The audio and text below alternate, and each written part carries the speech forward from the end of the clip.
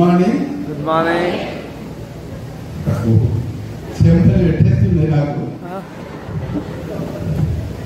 ఎందుకంటే నేను ఎక్కడో అక్కడ వెనకాల కూర్చోవలసిన వాడిని. మరి నాలో ఏం గొప్పతనం కనిపించిందో గురువు గారికి ఎంఎస్ఆర్ గారికి. నాకు నేను అనుకుంటా ఉన్నా ఈ స్టేజ్ మీద మాట్లాడేటువంటి ఇక్కడ కెపాసిటీ నాకు లేదేమో అని ఎందుకంటే ఇంతమంది ప్రముఖులందరూ చూస్తూ ఉంటే. నా పేరు రామచందర్ రెడ్డి. నేను మంచిర్యాల నుంచి వచ్చిన. వెస్టేజ్ బిఫోర్ సింగరేణి ఆఫీస్లో ఒక మైనింగ్ సర్దార్గా పనిచేసేవాడిని. అంతకంటే ముందు చాలా కష్టపడ్డా నా లైఫ్లో.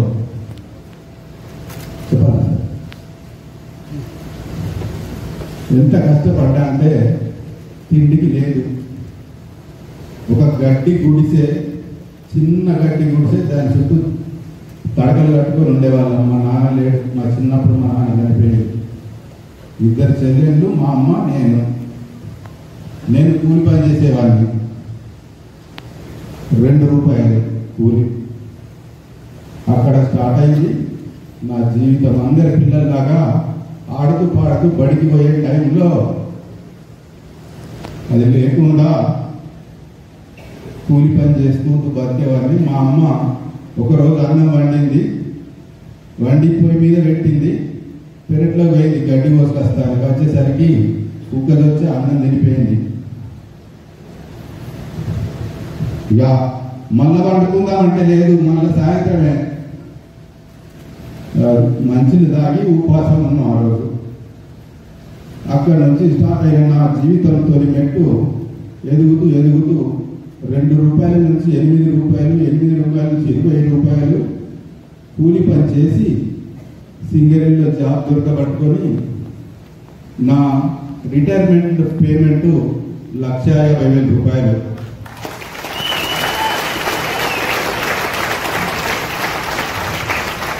నేను పద్నాలుగు సంవత్సరాల వయసులో డిసైడ్ అయిపోయింది ఏంటంటే నా తీరు నా కుటుంబం బ్రతకద్దు. నేను కష్టపడ్డా. ఈ కష్టం నా ఫ్యామిలీలో నా భార్య కానీ నా పిల్లలు కానీ తల్లి కానీ ఎవరు కూడా ఈ బాధపడద్దు అని ఆ పద్నాలుగు సంవత్సరాల వయసులో ఎలాంటి మోటివేషన్ లేని క్లాసులు చదువు రాని స్టేజీలో ఆ రోజు ఒకే ఒక డిసైడ్ అయిపోయినా నా కుటుంబం సంపన్న వర్గంలో ఉండాలి అని. అలా అంచెలంచెలుగా ఎదుగుతూ నలభై ఎకరాల భూమి కొన్నా. నలభై ఎకరాల భూమి ఈ రోజు ఇరవై లక్షలకు ఎకరం పైనే ఉంటుంది. ఇరవై లక్షల పైనే ఉంటుంది ఒక్కొక్క ఎకరానికి.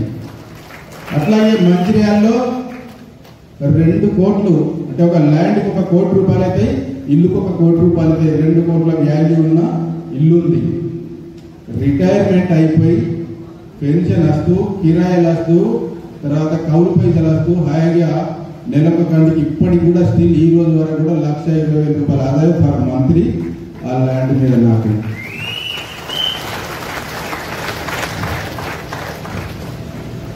మరి ఈ వెస్టేజ్కి ఎందుకు వచ్చిన అంటే ఈ ఒక మంచి ప్లాట్ఫామ్ మీదకి మరి నేను ఏ పుణ్యం చేసుకున్నానో తెలియదు కానీ దీంట్లో తొయ్యబడ్డ రాలే తోసిరు నా ఇక్కడ నా మిత్రుడు దేవిదాస్ అనే రిటైర్ సబ్ ఇన్స్పెక్టర్ ఇన్ని ఉన్న క్లాస్మేట్ అన్నమాట. ఇన్ని ఉన్నా కానీ నాకు షుగర్ను బీపీ ఉండేది. అలాంటి పొజిషన్లో నా మిత్రుడు షుగర్ ఇలా మంచి మందులు ఉన్నాయి రమ్మంటే నేను వచ్చి ఇలా చేరిన.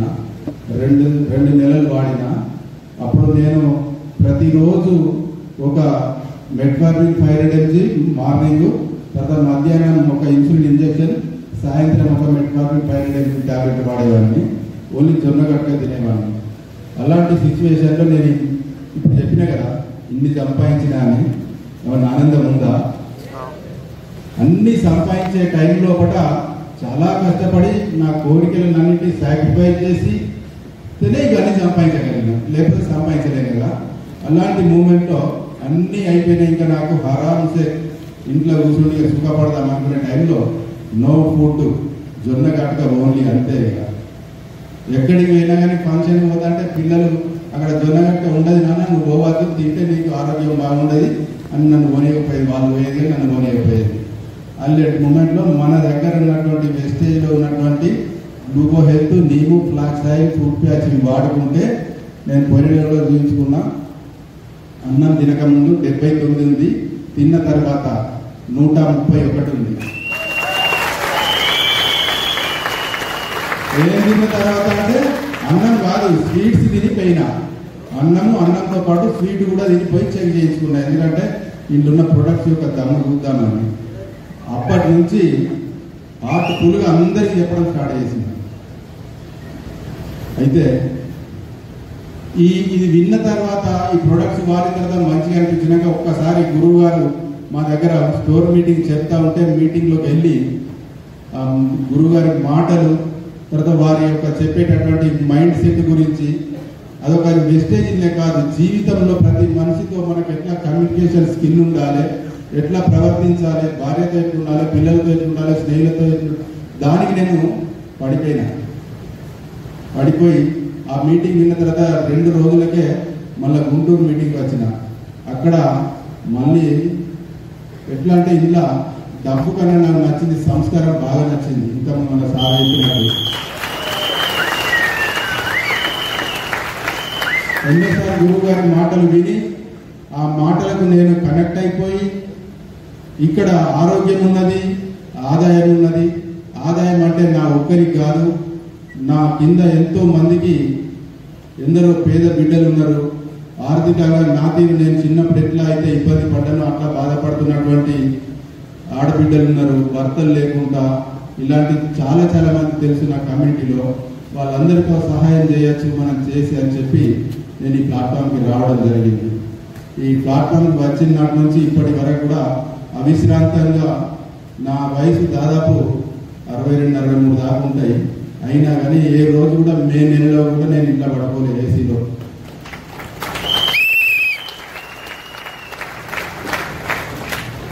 మా మిస్సెస్ అంటా ఉంది ఇంత ఎండలో ఎందుకు వెళ్తున్నావే? కష్టపడ్డాను బాగా కష్టపడ్డావు పిల్లల కోసం.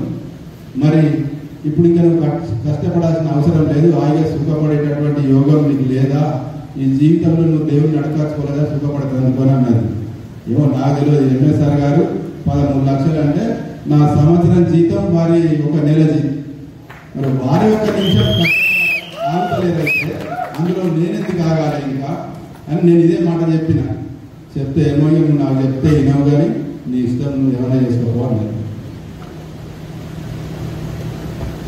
ఈ మీటింగ్ వచ్చే నాటికి కూడా మొన్న నాకు అనేకమైనటువంటి వర్షంలో తడిసిపోతే జ్వరం వచ్చింది. బండి స్కిడ్ అయితే కాలు మార్చుకపోయింది నేను మీటింగ్ రాను సార్ అని కుమార్ సార్ చెప్పినాను ఎట్లా చేసి రావాలి సార్ అంటే నేను నిన్న డిసైడ్ అయినా. రావడానికి మా మిస్సెస్ ఉంటా ఏదో ఆమె పర్మిషన్ తీసుకోవాలి కదా కంపల్సరీ కదా. మా జీవిత భాగస్వామి కాబట్టి ఆమె ఒప్పించాలి కాబట్టి బతిమలాడంగా బతిమలాడంగా నిన్న పర్మిషన్ ఇచ్చి నా బ్యాగ్ చదివి పంపించింది నాకు ఇక్కడికి. ఈ రోజు ఈ రోజు పొద్దున నా కింద డౌన్ లైన్ చెక్కులు చూస్తా ఉంటే నాకు బడే ఆనందం వేస్తూ ఉంది. ఎందుకంటే ఒక పేద వ్యవసాయ కూలి ఆమె బ్రోజ్ డైరెక్టర్ అయింది ఎనిమిది వేల చిల్లర. రేఖ మందమారిలో ఉంటుంది భర్త లేడు తన్- తండ్రి లేడు అన్న లేడు తమ్ముడు లేడు తల్లి ఆమె ఇద్దరే పాపం. ఒక పూరి గుడిసెలో బతుకుతారు. ఆమె చేంజ్ చేసి తీసుకొచ్చి ఈరోజు సిల్వర్ డైరెక్టర్ చేసినాం. ఆమె పదమూడు వేల చిల్లర. ఆమె పైన రజిత ఆమె కూడా భర్త లేడు ఒక అబ్బాయి ఒక అమ్మాయి ఇద్దరు పిల్లలు. ఆమె చిన్న వయసులో భర్త చనిపోయాడు. మిషన్ కొట్టుకుంటా ఉంటుంది టైలరింగ్ ఆమెకి ఈరోజు ఇరవై ఎనిమిది వేల చిల్లర. నిజంగా నాకు శ్రీకాకుళంలో లక్ష యాభై వేల రూపాయల సార్లు తీసుకున్న రోజు కూడా అంత ఆనందం అనిపించలే. నా ఇద్దరు కొడుకులు జాబ్ చేస్తా ఉన్నారు వెల్ సెటిల్డ్. నా పెద్ద కొడుకు ఒక లక్ష రూపాయలు కోడలకు ఒక లక్ష వాళ్ళకి రెండు లక్షలు వస్తానంటే కూడా అంత ఆనందం కలగలేదు వాళ్ళ చెట్టు చూస్తే అంత ఆనందం వేసింది. ఇది కదా జీవితం అంటే కోట్లు లక్షలు మనకు మనమే సంపాదించుకొని నేను నాలుగు నలభై ఎకరాలు సంపాదించినాను నేను చెప్పిన. అప్పుడు నాకు ఏం కిక్కు రాలే ఆనందం రాలే. ఎంఎస్ఆర్ గారు ఇంత వచ్చినా ఇంతమంది కూడా తప్పించిపోతా ఉన్నారు. మరి వారు చెప్తా ఉంటే వారి మాటలో నడవాలి బాటలో నడవాలంటే నేను అదే ఎక్కించుకుంటా ఉన్నా. నాకు అదే సంతోషం అదే ఆనందం అయిపోయింది. నిజంగా ఈ వెస్టేజ్ దొరకడం నా అదృష్టం ఎందుకన్నా అంటే ఇది నా అదృష్టం. నేను బ్రతకడం కాదు నాకు పది మందికి సాయం చేసేటట్టు ఒక అవకాశం ఇక్కడ ఈ ప్లాట్ఫామ్ మీద దొరికింది. దానికోసం నేను బాగా సంతోషపడతా ఉన్నా. అలాగే ఈ వెస్టేజ్లో మరి ఎంఎస్ఆర్ గారి అసిస్టెంట్లో ఉండడం నేను పూర్వజన్మలో చేసుకున్నటువంటి నా అదృష్టంగా భావిస్తున్నాను ఎందుకంటే ఇక్కడ ఉన్నటువంటి ప్రతి ఒక్కరు కూడా నా మైండ్ సెట్ ఎట్లా ఉందో ఇక్కడ ఉన్నటువంటి ప్రతి ఒక్కరిది కూడా అదే మైండ్ సెట్ ఉండదు. నాకు అట్లానే కనిపిస్తా ఉంది చూస్తా ఉంటే. ఎందుకంటే ప్రతి ఒక్కరం కూడా అదే మాటలు విని కనెక్ట్ అయిపోయి ఇక్కడికి వచ్చినాం కాబట్టి అదే మైండ్ సెట్ అట్లే ఇక్కడ పని చేసుకుంటూ మనందరం ఒక కుటుంబం లాగా ఈ సమాజంలో బ్రతుకుతున్నాం. హాయిగా ఆనందంగా అనిపిస్తూ ఉంది. నా మొదటి చెక్కు నూట డెబ్బై ఐదు రూపాయలు వేస్టేజ్లో నా హైయెస్ట్ చెక్ వచ్చేసి నలభై నాలుగు వేల తొమ్మిది వందల డెబ్బై రూపాయలు.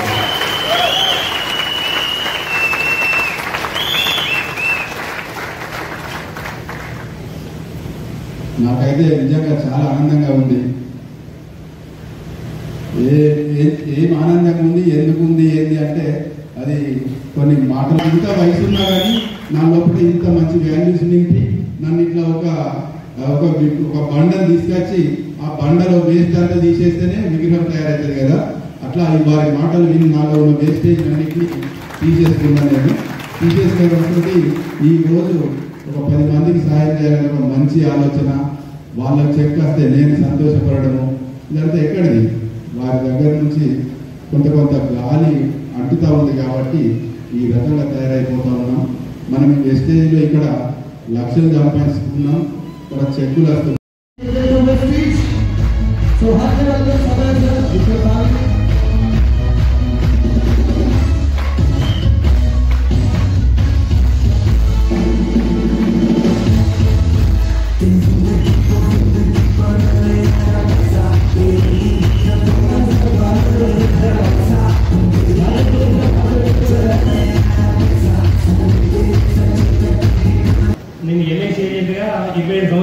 సంవత్సరాలు చేస్తుంది సార్ ట్వంటీ సెవెన్ ఇయర్స్ నా ఇన్కమ్ కూడా వన్ ల్యాక్ ఉంటుంది సార్ పర్ మంత్లీ ఇరవై ఇయర్స్ మా అప్లై వచ్చేసి కిరణ్ సార్ సార్. అది చేసుకుంటూ నేను పార్ట్ టైం చేసుకుంటాను సార్. పార్ట్ టైం చేసినప్పుడు సిల్వర్ డైరెక్ట్ అవుతుందని ఎక్కువ మాట్లాడలేదు సార్ ఇప్పుడు. ఇదే ఫస్ట్ టైం కాబట్టి. నా లోన్ స్టెప్ నూట యాభై ఆరు రూపాయలు. హైయెస్ట్ ఇరవై నాలుగు వేల ఐదు వందల డెబ్బై నాలుగు రూపాయలు.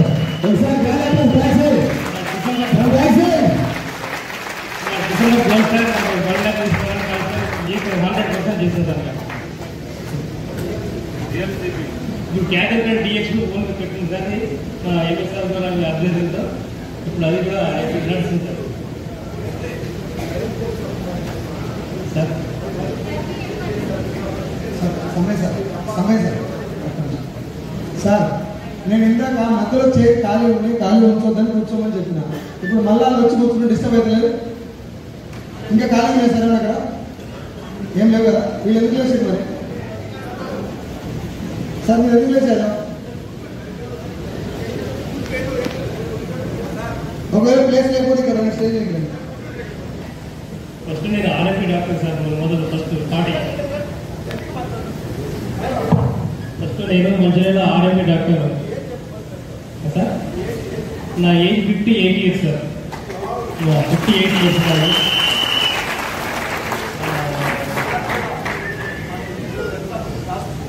ఆ, కోటి యాభై లక్షలు ఉంటుంది సార్ మరి మంచిర్యాలలో కార్లు అన్నీ ఉన్నాయి. పిల్లలు కూడా ముగ్గురు ఎడ్యుకేటర్స్ ముగ్గురు జాబ్ చేశారు. ఒక పెద్ద అమ్మాయి ఎంఎస్సి బీఈడి సార్. రెండో గొప్ప B Ed Hyderabad job software job చేస్తుంది. ఈ సంవత్సరానికి పదిహేను లక్షలు సార్ ఆమెది. రెండో బాబు కూడా ఎనభై వేలు. అది విడిచిపెట్టి కూడా మనకు సొంత క్యాటర్ పిల్ల వెస్టేజ్ షాప్ పెట్టించింది సార్. ఇప్పుడు వెస్టేజ్ నడుస్తుంది. బాగా నడుస్తుంది. చాలా ఆధ్వర్యంలో హ్యాపీగా దాదాపు సెవెన్ ఇయర్స్ చేసిన సార్ సెవెన్ ఇయర్స్ చేసి ఎల్ఐసీలో వచ్చారు సార్. ఇప్పుడు ఎల్ఐసీలో పక్క పెట్టి ఫుల్ టైం వీళ్ళు చేద్దామని వారి మొత్తం వీళ్ళు వచ్చి చేస్తున్నారు సార్ ఇప్పుడు. ఏదైనా ఇంట్లో నమ్మాలి సార్. ఫస్ట్ నేను సార్ ఎందుకు సార్ అసలు మీటింగ్ వచ్చింది సార్ మీటింగ్ ఉన్న తర్వాత సామాన్ తీసిన సార్. ఇక ఇలా తీసుకోలే సామాన్ తీసుకొని నేను మూడు వేల సామాన్ తీసుకొని ఇట్లా చెప్తే వీళ్ళు ఏం చెప్పిందంటే ఆ సామాన్ తీసి బయటపడి ఇంట్లోకి రాలేదు సార్. ఇంకా నేను తీసుకున్న సంచి కూడా పక్కన పెట్టాను సార్. పక్కన పెట్టిన తర్వాత ఏం చేసి బయట పెట్టేద్దాం అనుకున్నా సార్ ఏం లేదు. ఇక ఆఖరికి పిల్లలు కూడా తిట్టాము అందరూ తిట్టాము తిట్టినా కానీ ఇక ఆఖరికి రెండు మూడు మీటింగ్లో మీకు తీసుకొచ్చిన ఒక మీటింగ్ తీసుకొచ్చింది సార్. అప్పుడు నమ్మింది సార్ అప్పుడు మిమ్మల్ని చేస్తుంది నేను నేను నమ్మలేదు సార్. నేను నమ్మే తీసుకుంటున్నాను తీసుకొచ్చి మమ్మల్ని నమ్మలేదు సార్. నమ్మలే. ఇంకెవరు నమ్మాలి? పిల్లలు నమ్మలే ఎవరు నమ్మలేదు సార్. ఆ, ఇప్పుడు నమ్ముతుంది సార్ ఇప్పుడు నమ్ముతారు. ఇప్పుడు నమ్ముతారు పిల్లలు కూడా చేస్తున్నారు సార్. హైదరాబాద్ ఆమె కూడా సాఫ్ట్వేర్ చేసుకుంటూ ఇది చేస్తుంది సార్. ఇప్పుడు ఈ మధ్య మ్యారేజ్ అవుతుంది ఆమె.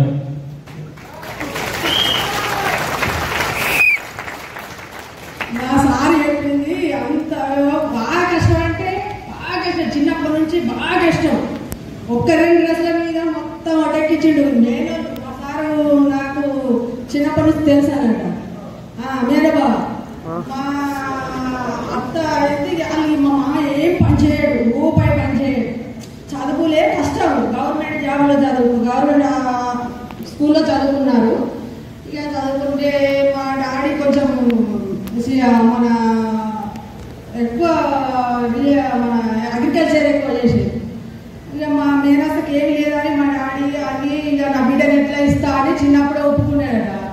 ఇక అట్లా బర్లతోటి వడ్లు జొన్లు అన్నీ ఇట్లా తెచ్చి పోసేది. మా అత్త అట్లా ఒడ్డెక్కించింది ఇక ఈయన ఎదిగినాక ఇక ఏం పని చేయాలి ఎట్లా చేయాలి ఇంకా కష్టం లేదు ఇంట్లో తిండికి కష్టము బాగా కష్టం అయితే ఇక ఇలా నాన్నమ్మ ఏం చేసింది రొట్టెలు చేసి పెట్టి ఇక తినకపోయేదట ఆ వీళ్ళ దూరం ఉంటే ఆ, మా పక్కకు వాళ్ళ దూరం వాళ్ళు ఉంటే వడ్లు మీ సారు మీ మనవడు ఏం తిన్నాడు కదా అమ్మ ఇది తీసుకుపోయి దంచి ఆయన పెట్టు ఆయన తినడు అని ఇక తీసుకొచ్చి వడ్లు దంచి ఈయన మందం ఇంకా నండి పెట్టేదట వీళ్ళందరూ మా ఆడబిడ్డలు ఇద్దరు మా మరిది వాళ్ళందరూ తినేది ఈయన ఒక్కడే తినకపోయేదట.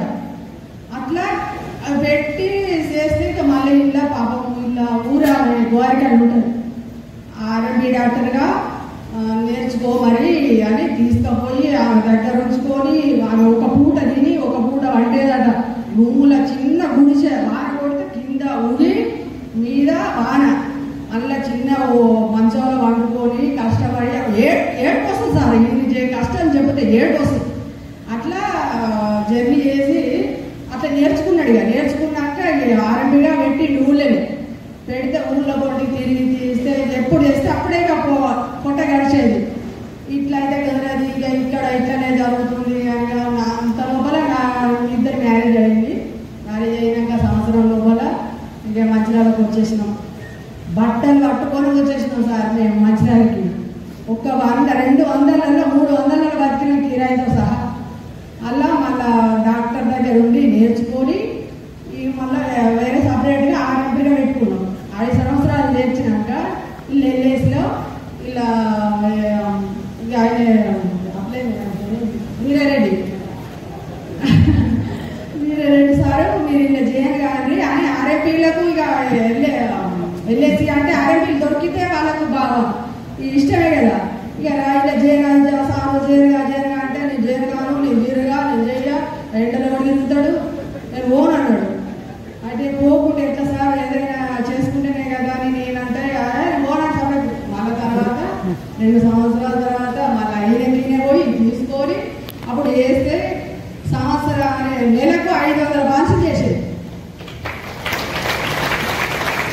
బాగా కష్టం అంటే బాగా కష్టం లేదు ఇప్పుడు చేసింది చేసినట్టు ఇక ఇంట్లోకి అయిపోయేది ఇక అయిపోతే ఇక అట్లా కష్టపడి మరి ఇక జైన్ అయినాక ఇక రన్ అవుతుంటా రన్ అవుతుంటా ఇక ల్యాండ్ కొనుక్కున్నాం ఇల్లు కొనుక్కున్నాం ఒక అమ్మాయి పెళ్ళి చేసినాము ఇక ఇప్పుడు రెస్ట్ తీసుకున్నాం మా సారు మూడు రెండు మీటింగ్లు లేని సార్ సమాన్ తీసుకొని వచ్చిండు వచ్చినాక సామాన్ తీసుకొని వచ్చి నువ్వు ఆరోగ్య డాక్టర్ వాటికి ఎవరు చెప్పిరు ఏంటి ఎవరు చెప్పినా వాళ్ళే వింటావా ఎందుకు విన్నావు నీకు తెలియదా ఈ మందులు ఏంటి ఏమే సైడ్ ఎఫెక్ట్స్ ఇస్తాయో నువ్వు ఎవరికి తెలుసుకున్నావు అట్టుగా ఎవరు చెప్తావా మాట మాట పట్టుకుంటావా ఎందుకు పట్టుకున్నావు ఎందుకు తెచ్చుకున్నావు అని నేను ఎక్కువ పడ్డా కోపంగా తీసి పారవతి అని అన్నాడు ఇక ఇక మా అత్తమ్మ ఇది మంచియే వాడచ్చు. ఏం కాదు అని అన్నాక ఇక తను మీటింగ్ వస్తే చెప్తుంది మీటింగ్ రావే రావు. అంటే సరే మళ్ళీ వస్తుంది అని అన్నా ఇక తర్వాత మీటింగ్ వచ్చినాక ఇక మాకు అర్థమైంది. మేము ఆడదాం స్టార్ట్ చేసినాం. ఇక మనం వాడని ఇంకోలో చెప్తే వినరు కదా. ఒక రెండు మూడు నెలలు అట్లా వాడి ఇక ఇప్పుడు చెప్పడం స్టార్ట్ చేసినాం. చెప్తాను. డిఎస్సి కూడా చెప్తున్నాం. NSR ration